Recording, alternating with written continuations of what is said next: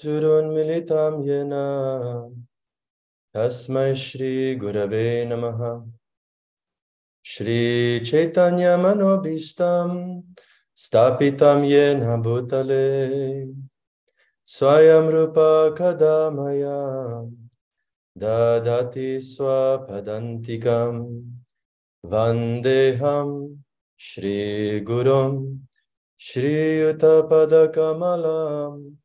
श्रीगुरून् वैष्णवांश्च श्रीरूपं सग्रजातं सहगना रघुनाथं वितां तं सजीवम् सद्वैतं सवदूतं परिजनसहितं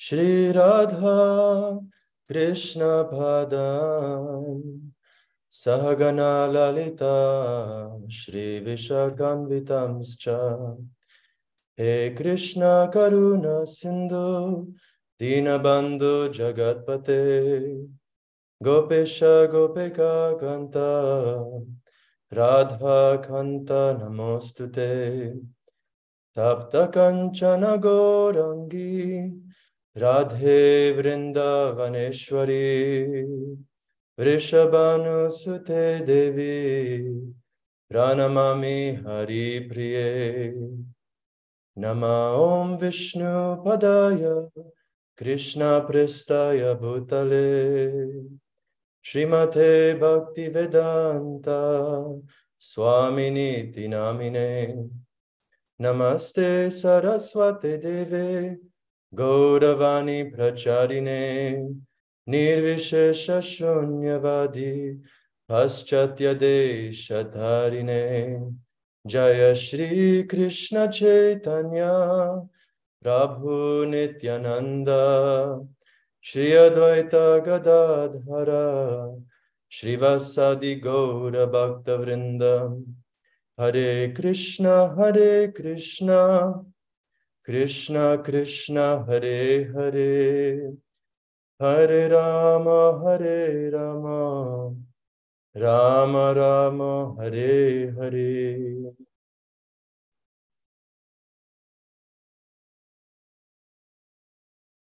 Today I am 100% seeking all of your blessings and all the blessings of senior devotees, Adi Purush Prabhu, I don't know if Arjuna Prabhu is there in the temple listening, but please, if you are, give me your blessings. This is a topic, um, and I'm sure every speaker is probably saying this now, but this is a topic that is definitely way over my head, and it's extremely esoteric about the Rasalila.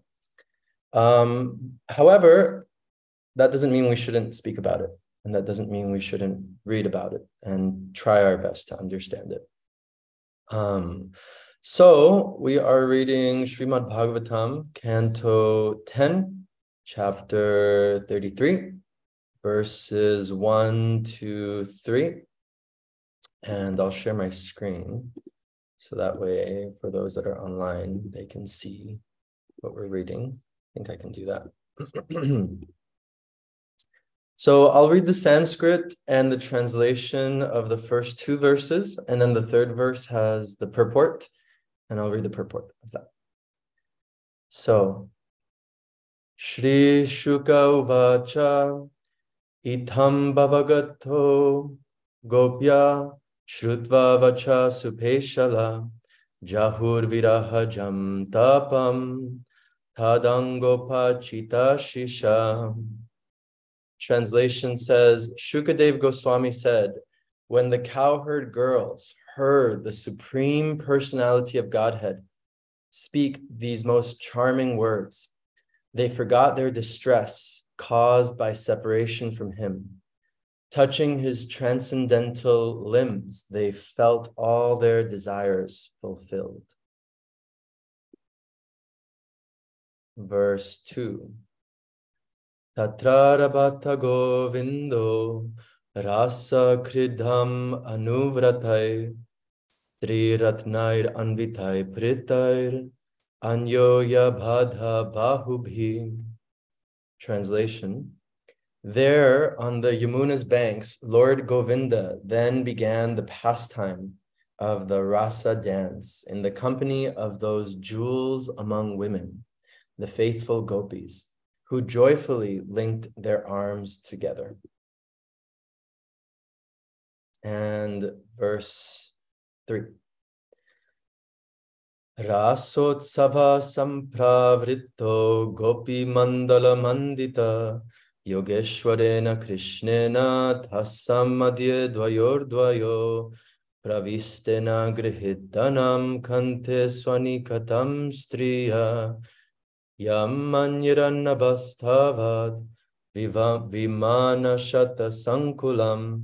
divaukasham sadharanam autsukya.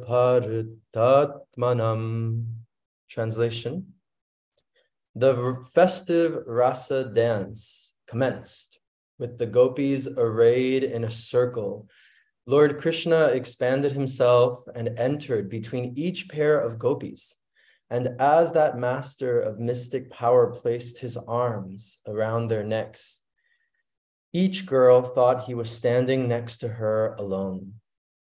The demigods and their wives were overwhelmed with eagerness to witness the rasa dance, and they soon crowded the sky with their hundreds of celestial airplanes. Purport. Srila Bilva Mangala Thakur has written the following verse about the rasa dance.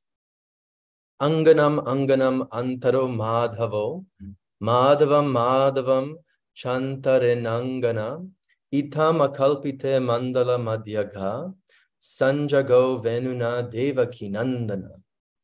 Lord Madhava was situated between each pair of gopis and a gopi was situated between each pair of his manifestations. And Sri Krishna, the son of Devaki, also appeared in the middle of the circle, playing upon his flute and singing. Srila Vishwanath Chakravarti Thakur points out that the gopis, maddened by love, were unable to understand that Sri Krishna had expanded himself so he could personally dance with each of them. Each gopi saw one manifestation of Krishna. The demigods and their wives, however, could see all his different manifestations as they watched the rasa dance from the airplanes, and thus they were completely astonished. Srimad Bhagavatam ki jai. Hmm. So we are seeing now the introduction essentially to what is now the commencement of the rasa dance. You have all been hearing of the, the separation, the back and forths, the reunion, Krishna leaving um, as such. and I was listening to a class by His Holiness Radhanath Swami about this Rasalila, and it brought me and I'll give the the foundation or the, the the basis of where I'm coming from.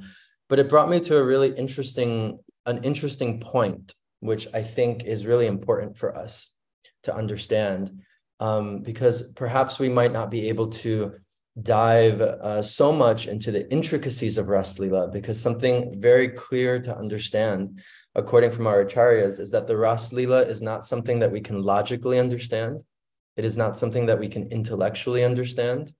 Um, and it is only something that this understanding can be given to us by grace, by mercy of Srimati Radharani.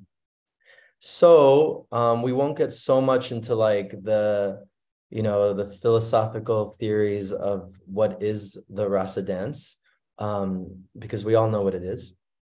But um, this this really beautiful point in the purport um, in that in that third verse where it is being said that the gopis understood that krishna was only there for them right they were so maddened by love that they only saw krishna as if he was there just for them. And in this beautiful lecture that I was listening to by His Holiness Radhanath Swami, he was saying before when Krishna was calling them to the rasa dance that this sweet tune that he was playing from his from his flute that the tune was completely unique. Yes the song the melody the gopis were hearing it completely unique to them right? So that it was completely and utterly um individual and personalized for that gopi.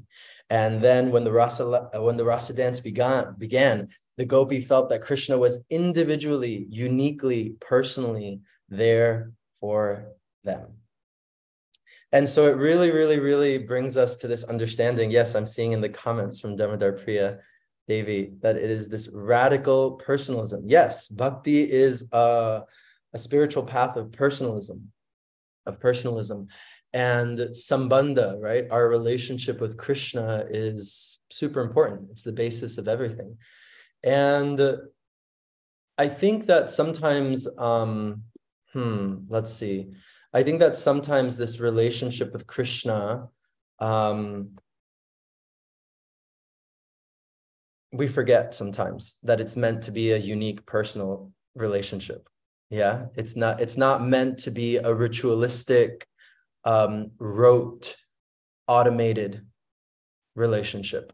And this is this is the big point that I'm going to get to, and we're going to get into all the intricacies of this. But you know, we have to remember that my relationship with Krishna is not meant to be automatic, rote, boring. Hmm? Um, it's not a copy of what someone else's relationship is with Krishna. Yes, and so, but the question is this is the big kicker, right? The question is um, how do I develop my relationship with Krishna? How do I develop my relationship with Krishna? How do I approach that radical personalism? How do I find that radical personalism? How do I practice it?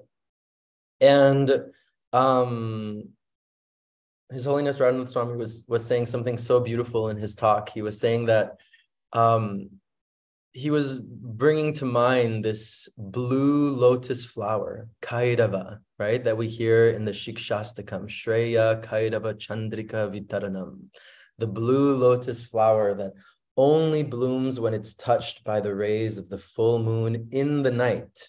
Yes. So Maharaj was saying that no matter how much tapasya you do, no matter how much charity you give, no, how, no matter how much how many rounds you chant, no matter how much puja you're doing, none of that um, really matters because this lotus or the heart, right? The lotus is the heart. It will remain shut in terms of us understanding um, Ras Lila. And Maharaj was saying that the only way, right, that this lotus opens is with the moonlight. So if you're in the night flashing a light upon this lotus, it's not going to open. If you're in the night putting spotlights onto this lotus, it's not going to open. And the only way that this Kairava flower will open is by the full moon rays. Yes.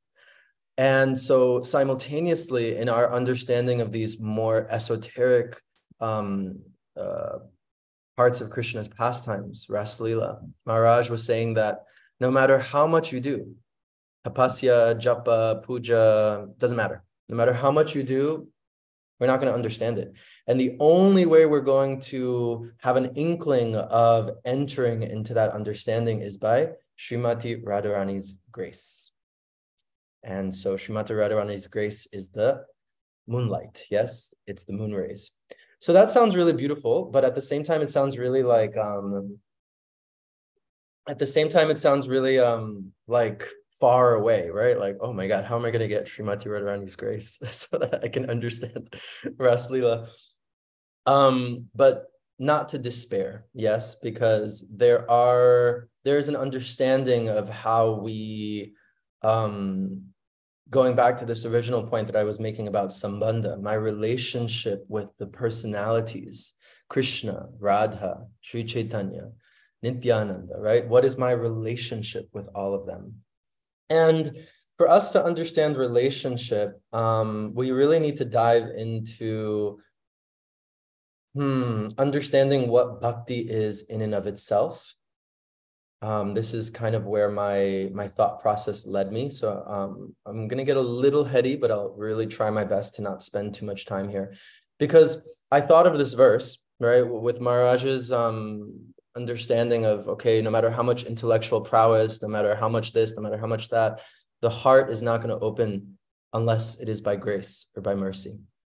And it really got me thinking of you know myself my my own devotional practices what i see here in new york what i see around the world with other devotees and stuff like that because you know i mean this is not i'll use myself as an example yeah I, I don't like to call anyone out but there are countless times where i am chanting inattentively i confess yes i confess there are countless times where i am chanting in the subway just how you share. right? And it just turns into this melange of sounds, and I'm not even there. So, how is that a relationship? It's not, right? How is that me actually really um, putting time aside and effort into my relationship with Krishna? Um, however, I think that this is where um, it gets a little confusing because you know you have some people with this idea or this mindset of I've definitely had this mindset in the past before um, of like, well, if I'm not going to do it right, then what's the point, right? Like, if I'm not going to chant well, then what's the point of chanting? Or it's it's better to chant this many rounds sincerely than it is to chant all my 16 rounds. Or uh, you know, this this kind of logic starts to come into play. Or oh i'm not going to go i'm not going to go to the temple because i'm not i'm not i'm not a good devotee. I'm not pure. I'm not this. I'm not that you know? And people really start to um, have these kinds of mentalities build up in their mind. Oh i'm not going to go to that because mm, whatever. And our relationship with krishna is beyond that yes bhakti is beyond that. Yeah i see that. All or nothing can be so defeating. Definitely definitely. And i'm i'm a confessedly all or nothing kind of person. I tend to be a little bit of an extremist at times so i know this i know this topic very well. Um, but our relationship with krishna is beyond that. And our relationship with these personalities are beyond just my own ego um, wanting or not wanting to. Um, okay so it made me think of this verse um, this verse is from Srimad Bhagavatam, Canto 2, Chapter 3, verse 34. I won't read the Sanskrit. It's a really beautiful verse. It just says, Certainly that heart is steel framed, which, in spite of one's chanting the holy name of the Lord with concentration, does not change when ecstasy takes place. Tears fill the eyes and the hairs stand on end. Yeah. So we're understanding there's a question being asked. It's like, wow, you know, this this heart that despite of all these beautiful um experiences of bhakti, of chanting the holy name, that heart is still framed in steel. Can you imagine like a heart with walls built around it, right? And it's not, it's not changing. It's not changing in how, you know, when we read about the processes of bhakti and the changes that are supposed to occur, um, sometimes one might feel, well, why aren't I feeling those things, right? Why aren't I feeling those like beautiful spiritual emotions? Why aren't I um, going past anartha nivritti? What's happening? Well, this verse is telling us really clearly that heart is framed in a wall of steel. And I just want us to think about like not even not even you know I mean everything is spiritual, um, but even in our own day-to-day life we can think about the walls that we build up around our heart yes to quote unquote protect us. The walls that we build around our heart um, sometimes they start as boundaries which are really good. I was just talking about this in a yoga class i taught at the bhakti center last week that boundaries are good. But when the boundaries turn into walls and when those walls turn into steel and we're unable to see that we've built all of these uh, huge walls, then it becomes quite then it becomes quite a problem actually because we're not actually able to have a soft heart. We're not able to um, be affected right? And this is intrinsic to the point that i will be making today um, so let's just remember this idea or this image, a couple of images here, right? Radhanath Swami talking about the, the, the lotus flower of the heart that only blooms with the moon rays. This verse in Bhagavatam telling us that that heart is steel framed, the heart that cannot uh, be affected by these uh, ecstasy of kirtan, you know, and or, or, ecstasy of of hearing about uh, Krishna. If it's not affected, that heart is steel framed. So then, going back to our original question, well, then, okay, well, if if this is happening to me, if I'm chanting inattentively, or if I'm not mm, having a nice relationship with Krishna, or if I don't even know how to do that, um, then what do I do? And what does that mean? And how do I how do I do it? So I wanted to give a quick understanding of um, bhakti, very quick, very, very, uh, I'm going to condense this. But I've talked about this topic quite a few times, right? Um, in the past, I, I took a, a, long break from giving class, um, which I'll speak about in a bit. But I've talked about in the past this idea of yukta vairagya, Yukta Vairagya. And I'm not going to get into it so much this time because it's not the main topic. But Yukta Vairagya means um, really, it means that I'm engaging with the world. I'm engaging with the material world. Um, and there's three conditions of Yukta Vairagya that um, I'm not attached to the sense objects, that I'm only engaging with the material world in as much as is necessary for my seva, and I am seeing everything in the material world as paraphernalia for Sri Krishna's and Sri Radharani's worship. Yes, so that's really Yukta Vairagya. But in our you know society and our tendencies we you know take these terms and sometimes we're oh yukta vairagya it's fine I have my phone and I'm using it in service of Krishna, Yukta Vairagya. Yeah. I have my my iPhone and I'm using it in Krishna service, Yukta Vairagya. I have my, I don't know, Mercedes newest line, super duper, whatever Tesla car. It's Yukta Vairagya. It's in Krishna service. It's totally fine, right? or I am, you know, whatever, like this. And we make these justifications but it's really actually important to understand this terminology, right?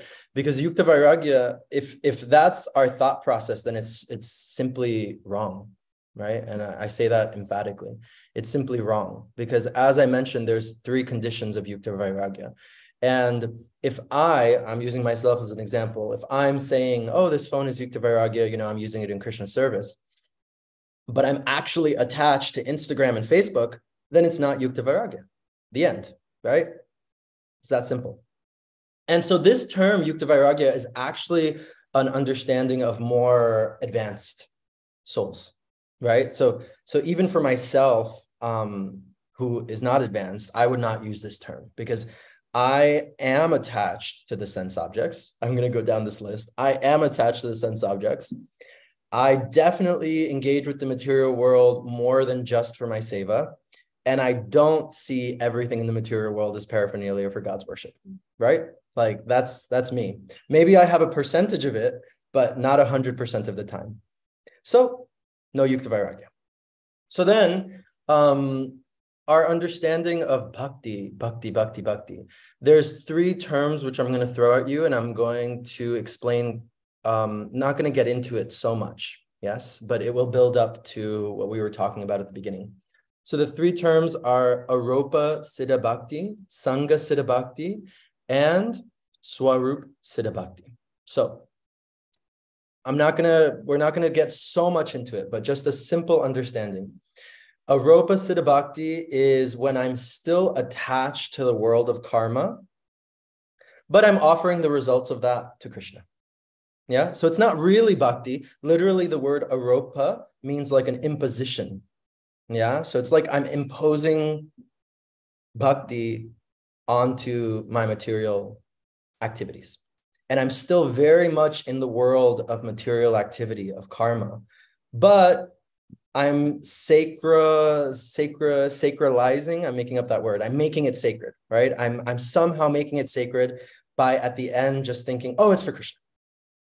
Okay, that's fine. Great. It's similar to, um, if not the same as karma mishra bhakti, right? So it's mixed. It's bhakti that's mixed. It's not pure bhakti. So remember that I'm explaining all of this for us to understand our relationship, our sambandha with Krishna, understanding how do we even approach Srimati Radharani's grace so that our hearts can truly open. Yeah. So remember the context that we're talking about it. So Aropa Siddha Bhakti, any kind of material activity that I do, brushing my teeth, making my breakfast in the morning, well, that's prasad, that's different. Brushing my teeth, you know, going from A to B, I don't know, reading some book that's not really Krishna conscious. But at the end, I'm saying, oh, this is actually for Krishna. Okay. So there's a, it's like a little bit of bhakti in there. Yeah. But something really important here to understand is that this process of bhakti, aropa siddha bhakti, very much there's still an attachment to the material world. Yeah. Next, Sangha Siddha Bhakti. So this means that a shift has happened. A shift has happened where slowly an attachment to bhakti is happening. An attachment to devotion is starting to happen. And uh, this is understood where we are engaging in activities that aren't necessarily bhakti in, in, in and of themselves, right? They're not inherently bhakti, these activities, but these activities are like assistive to our bhakti practice, right? So, as an example, um, I was reading this purport um, by his Grace Narayan Maharaj, he wrote a beautiful book called The Bhakti Rasamrita Sindhu Bindu. It's his understand. It's his uh, purports and notes on the nectar of devotion on Bhakti Rasamrita Sindhu. So he brings up this verse, um, Bhagavatam 11, 3, 23, 25. Um, and this is uh, Prabuddha Muni speaking and is just mentioning some qualities, right? So one should cultivate compassion towards others, um, friendliness, offering respect, cleanliness, austerity, tolerance, silence, study of the Vedas, simplicity, celibacy, nonviolence, so on, etc. And he goes on, one should consider heat and cold, happiness and distress, right? All this stuff. I won't read the whole thing. So our understanding for Sangha Siddha Bhakti is that none of these are actually bhakti in and of themselves, right? Cleanliness is not bhakti in and of itself. Hmm? Uh, silence is not bhakti in and of itself. Um, uh, offering respect to others and friendliness and all the ahimsa, those aren't, that's not bhakti in and of itself, right? But this is now a shift internally has happened that I am no longer, or I am trying my best to not be attached to the world of karma.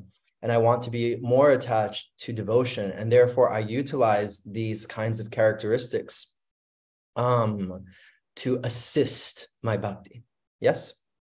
And then last but not least, I hope that this is all making sense in a progression. We're getting somewhere, we're almost there.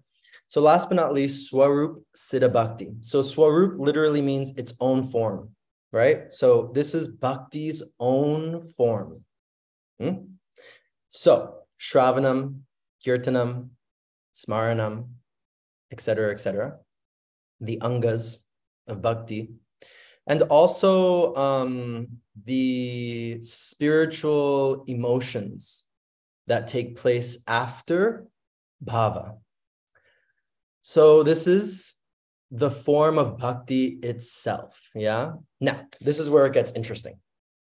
So, Shravanam, Kirtanam, Smaranam, nine devotional processes of bhakti, they are inherently bhakti, bhakti itself, like this.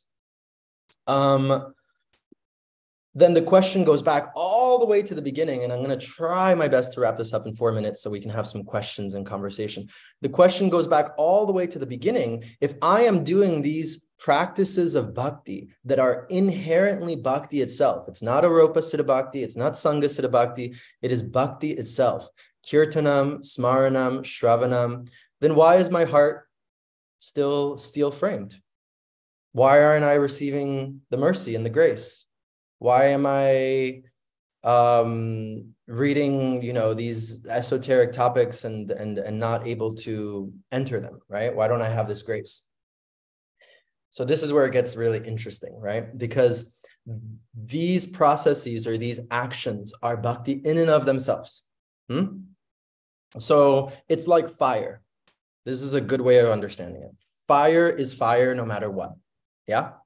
So whether the person is ignorant of fire or not ignorant of fire, right? When they touch it, they get burned. That's it, right? But let's say one of the persons has on like a fire resistant glove and they put their hand in the fire. They're feeling a little bit of the heat, but they're not getting burned. The other person gets burned. Yeah. So the fire is still fire, but now one person has a covering. Yes. And they're not able to experience it as it is.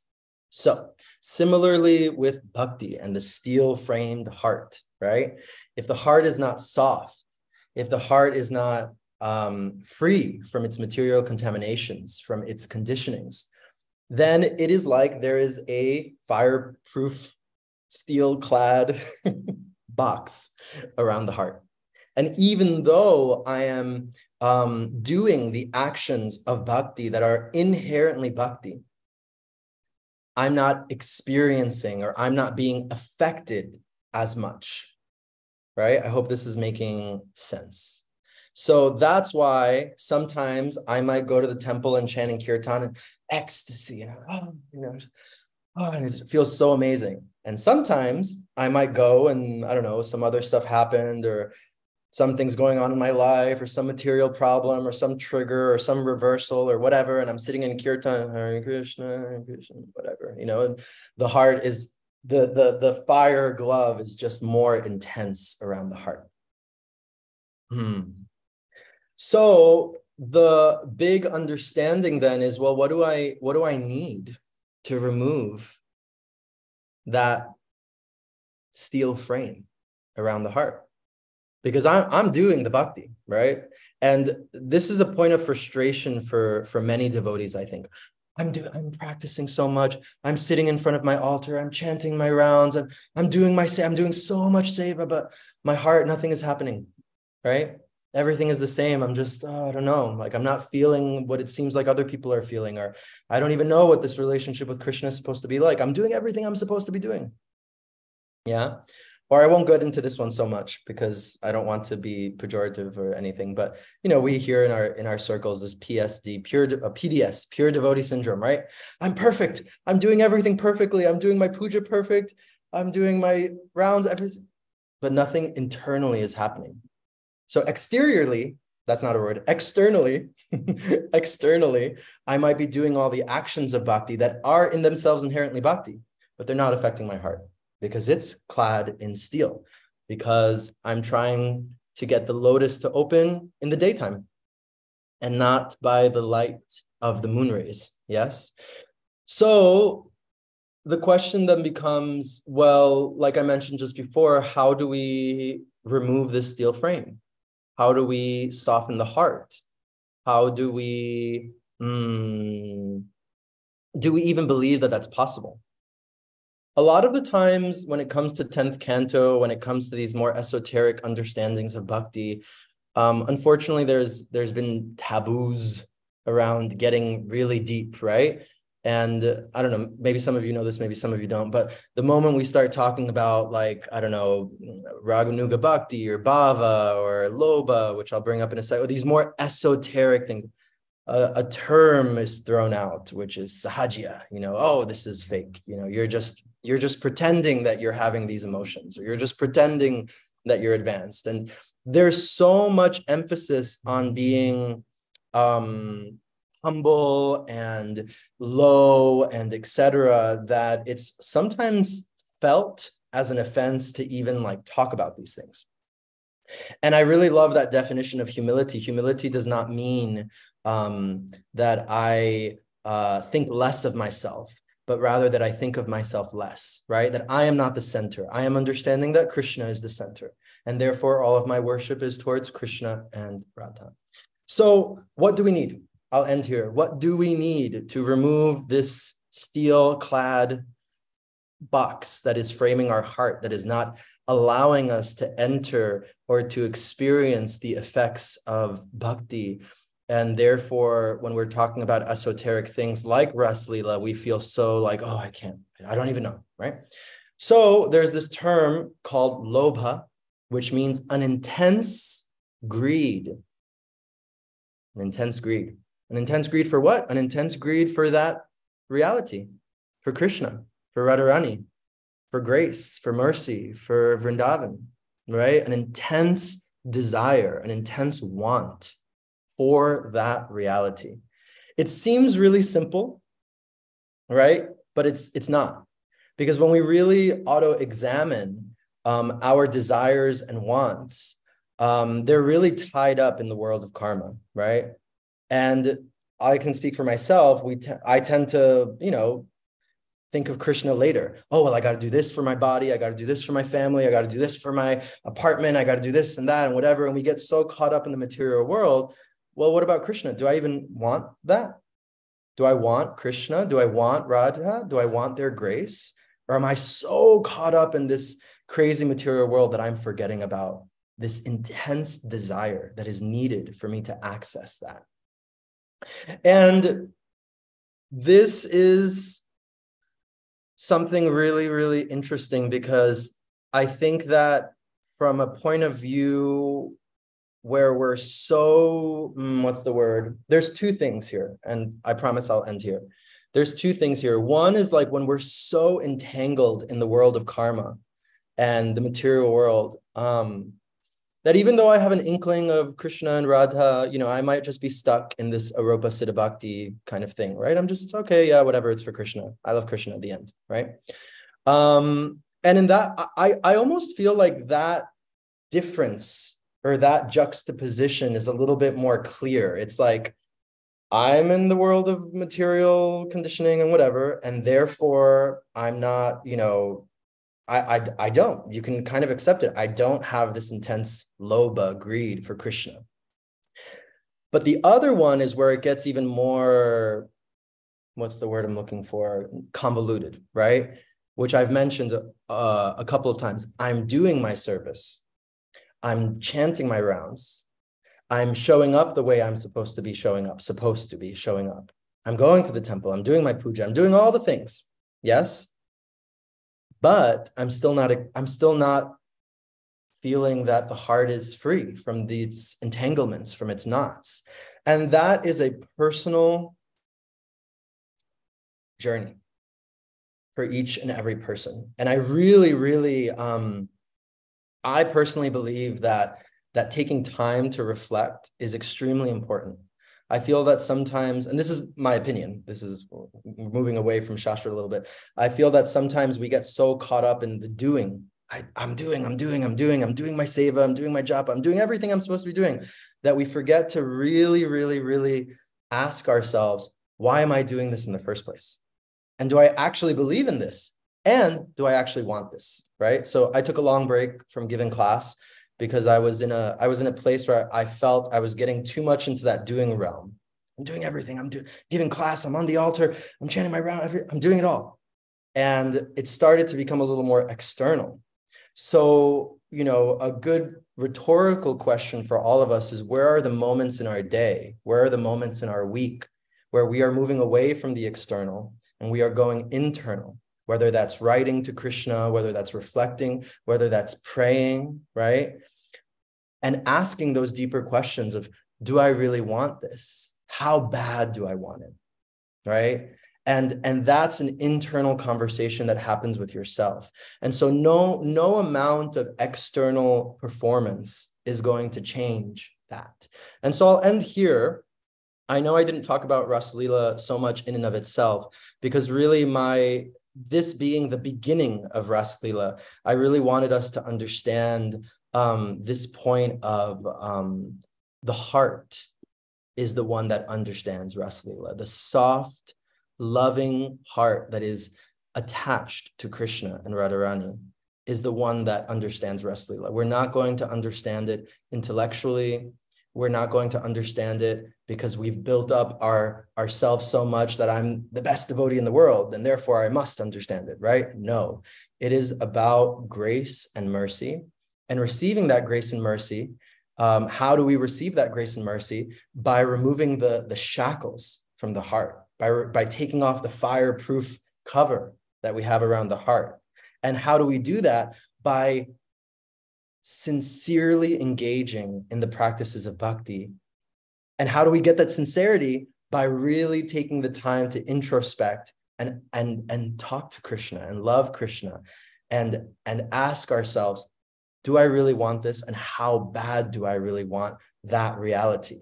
Do I want it so much that I want it more than the material reality? That's really the big question. Do I want that reality? Do I want Vrindavan more than I want this material world? And that's an internal question that we each have to ask ourselves when you have time. and I'll end there because um, I spoke a lot and I think we only have like three minutes left. And yeah, but like this. So if anyone has any questions or comments, I know we don't have too much time, but. Thank you, Kishore Chandra. You really challenged us with this question. Do I really want Vrindavan more than I want all those all those other things? Thank you for that. I see Jeffrey Eckler is really, really getting into that question, probably answering it already. Bhima Prabhu has his hand up. Bhima Prabhu. Uh, Kishore Chandra, that was wonderful. Very, very nice. Uh, very, as you said, soft-hearted approach to um, coming to that point of reflection and introspection. Why? Because of course, if we have a why for what we're doing, then any how is possible, including how do I understand uh, the rasa dance, any dance with Krishna, whether it be Krishna dancing on our Kaliya heads or kicking the Shakatashura, that's the cart demon, uh, kicking our um, our luggage, our that we bring with us, um, etc. He's always doing something with his feet, kicking or dancing. Um, are you going to stay after darshan so that we can actually speak to you, Prabhu? Uh, yeah, I can do that. I have time today. Okay, so we'll do that. Hari Krishna. Thank you. Thank you. Rupesh Kumar Prabhu. Hare Krishna, Kishore Prabhu, beautifully shared. Um, just few humble, simple doubts. Forgive me if they are not clear. Uh, first one is I was reading the verse and I couldn't see Mother Radharani being mentioned in the verse with the other gopis. Even Bilvamangala Thakur uh, verse is not mentioned. So and then he says Krishna is in the middle, singing and dancing. So wasn't Radharani there with Krishna when he was standing in the middle, or was it was she one with him? I'm just wondering. So that's that's my first question, and other two uh, simple questions. The second one is when we said demigods were all there, Indra and all of them might have definitely been there. But uh, were these folks Rudra and Brahma were also there, uh, or were they participating in the dance? how, how does it uh, how do i mean maybe it's there in some other text which is more detailed so that's something that i'm more a bit wondering about and the third uh, most important thing is they said they formed a circle in a rasa dance was it only one circle because i remember there are it's not like one it's not like 10 gopis or 20 gopis right there are uh, so we'll take Darshan and then I'll answer the questions. Darshan time, dear devotees. Turn on your cameras if you can. Darshanovananda Loka. Oh, no.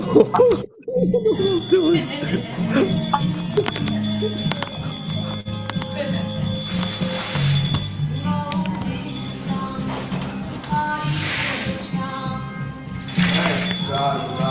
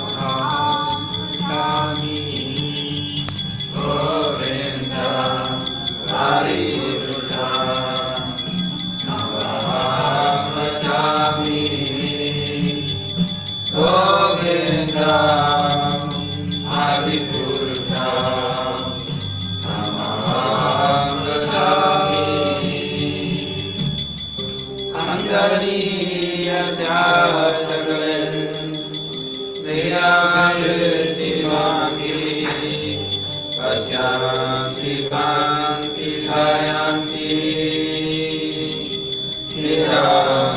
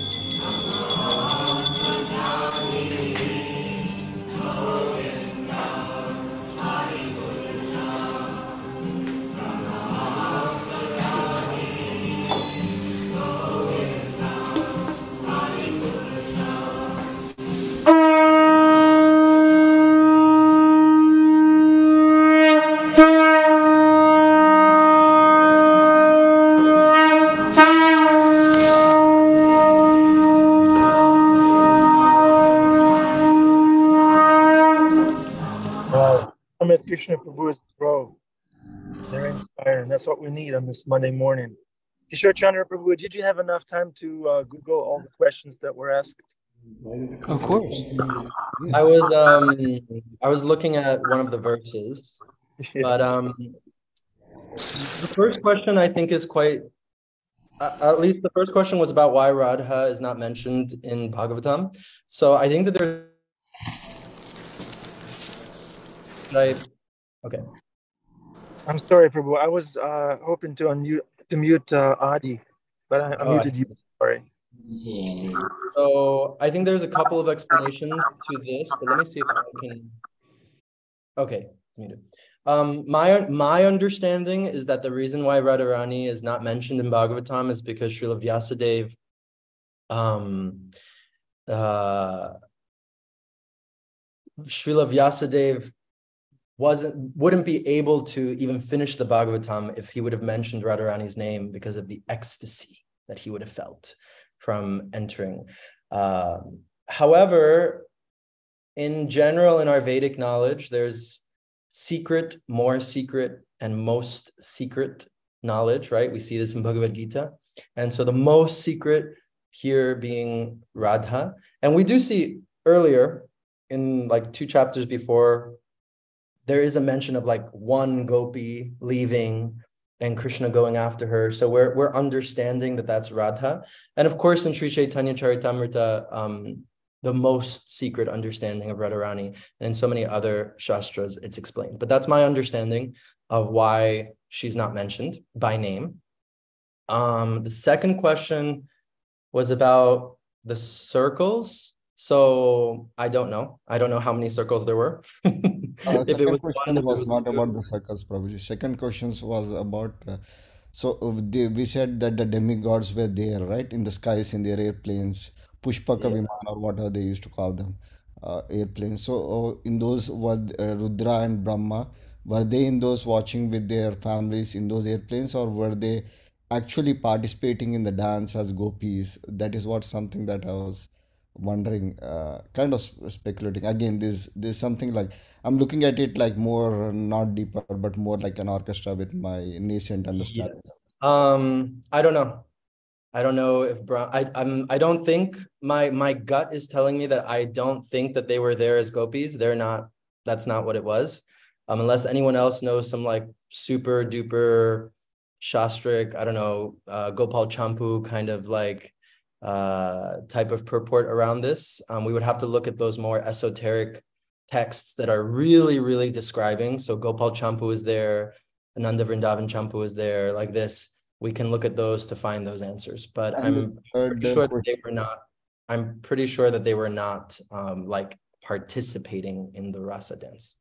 thank you, thank you so much, Prabhuji. And the third question was not specifically about the circles, but in those circles, each manifestation that uh, they were speaking about, right? We cannot, I mean, one lifetime wouldn't be sufficient to just look at the Radha Murli that that is there in front of us with these simple eyes.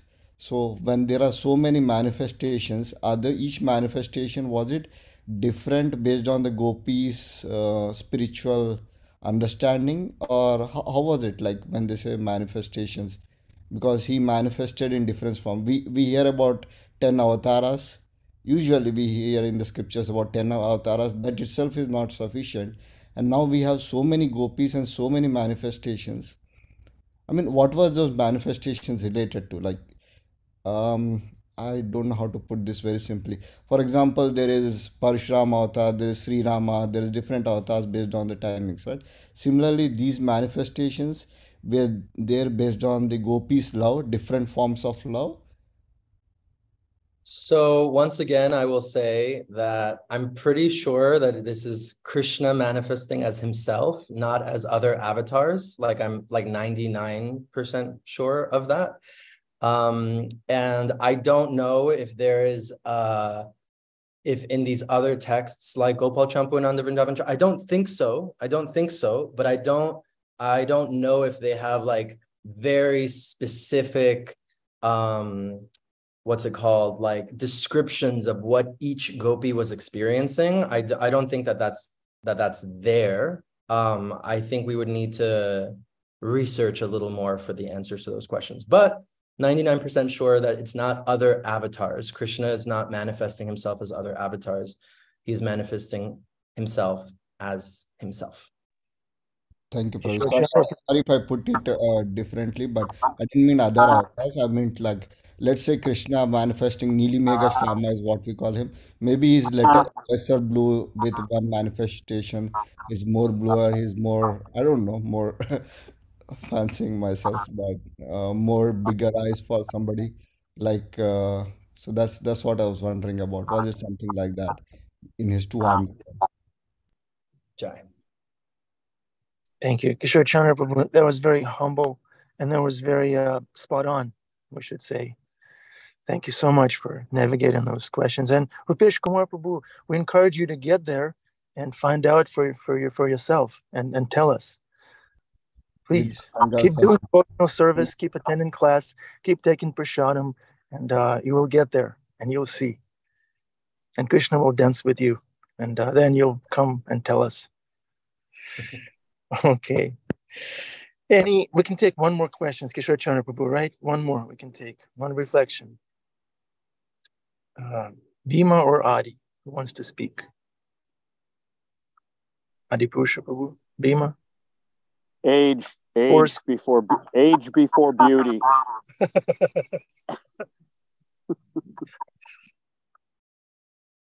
Pearls before swine. Go ahead.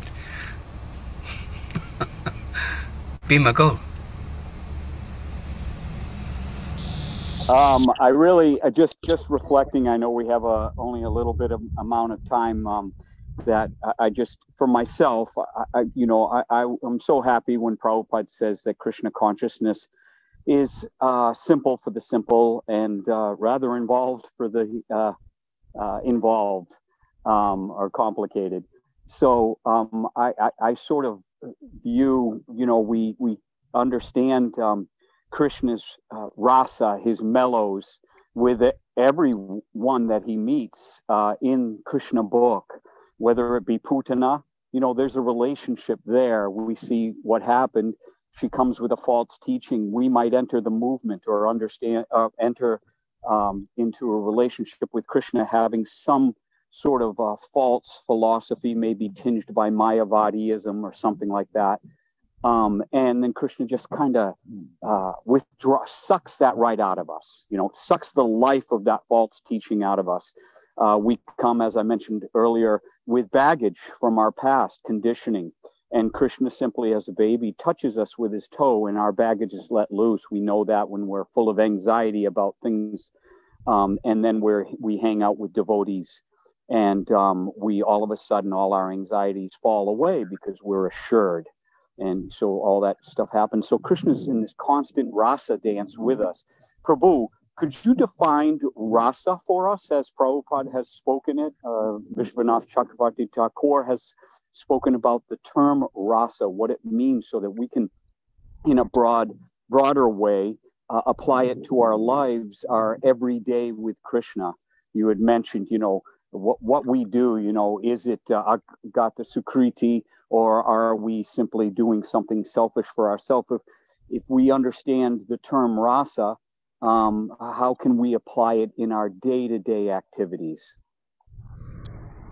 Prabhu, I think I think you should describe it. It sounds like you have a, a very clear point that you're trying to get to. So I'd love to hear from you. well, I, I, I, you know, you have so much knowledge. There might have been some kind of. All, all I know is, that um, that uh, because uh, you know, sort of on that simple side of things, that we we make it very complicated. Uh, the and we use the term esoteric, like unreachable. And it's like you said, sometimes we come up with excuses. I'm not feeling advanced, so I won't show up to this particular sadhu sangha, or I'm not worthy, or something. And that's Maya's trick. And sometimes we say to ourselves, "Oh, I can't understand these what Krishna is up to." Um, it, we can, uh, for myself, I, I, I sort of bring it down to how is it that I develop relationships in this world? How is it that I'm honest with other people, sincere? How is it that I'm loving? Do I give out of the fullness of my heart or am I expecting some kind of reciprocation? And all these things that we do in this material world applies to Krishna and our ras, our relationship, our mellow, our feeling. It's not sahaja to actually wake up in the morning and reach for your beads uh, like a young girl, a young bride reaches for the groom or a groom reaches for the young bride. It's it's not sahaja to feel that sort of desperation. And Maharaj Radhanath Maharaj um, one time had told me, I go, you know, how how does how does one come to when I was a bhakta? I said, how does one come to understanding all this? You know, I was looking at the Bhagavatam and all the Sanskrit, and I was like, oh my God, I'm going to get lost here. Um, because as I said, I'm, I'm not very erudite. Um, but uh, he said, uh, you have to lose uh, your love of this world. You have to die before you die. You have to lose all hope of enjoyment in this world, uh, uh, things of this world. You have to, that's why the gopis uh, engage on the highest platform because they even left their families, they left their children in a moment's notice when Krishna called to them. So we see that that's the prerequisite to, uh, to understanding Ross. If we're trying to enjoy affection, not that we're not affectionate, but that we we don't. I, I don't know. I'm getting lost here, but what I'm yeah. saying is is that as we as we mature, we start to understand uh, the farce that this yeah. world has to offer us. Yes, Hare Krishna, please speak to this. I, am rambling. Uh, no, no, no. Everything you're saying is perfect, and I think I think it's a really in, important thing to understand Ras but it's it's a big topic. And I, uh, you know, you're you're saying it as um, as mellows. Prabhupada also uses the word taste to define ras. And when I think of ras, I think of the term ras abas, right? We've heard this term ras abas, where it's something's not fitting, or you're taking, you know, you're doing something that it's not um, you're mixing things that should not be mixed, right? You're mixing non-devotional things with devotional things, and it just messes up the mellows, right? Or it messes up the taste. And I think this is a really important or a, a very simple way to understand ras, right? Ras meaning my my my taste or the specific relationship mellow that I'm having with Krishna. Abbas meaning the shadow, right? Um, so the shadow form or the not so pure form of that taste or relationship. And so I think a really simple way of understanding it then is like when we look at chanting, um, we have Shuddhanam, right? Um, the, the pure, the pure name, that means we're chanting with absolute ras, with absolute taste and thirst, and the shackles of the heart have been cleared, and therefore I'm experiencing ras. If I'm chanting Nam Abbas, that means that I have not fully cleared away the knots in the heart and I'm not really entering into the name. and therefore I am just getting a little bit of the effects. I'm just in the in the kind of in the shadow of the name, and therefore I'm not really experiencing ras. And then even farther from that is nam aparad, right? Or aparad in general, where I'm making offenses to the holy name, I'm making offenses to other devotees, and therefore whatever I do is not going to have any ras because I am making offenses. So that's that's how I am am thinking of it from a more practical understanding. Thank you, Kishor Chandra Prabhu.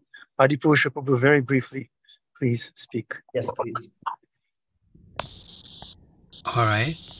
Um, you can hear me okay? Yes. Well, thank, thank you for a beautiful class. You have a beautiful smile. And we thank you for the wonderful way you shared your grappling with not just what you're doing, but why you're doing it, right?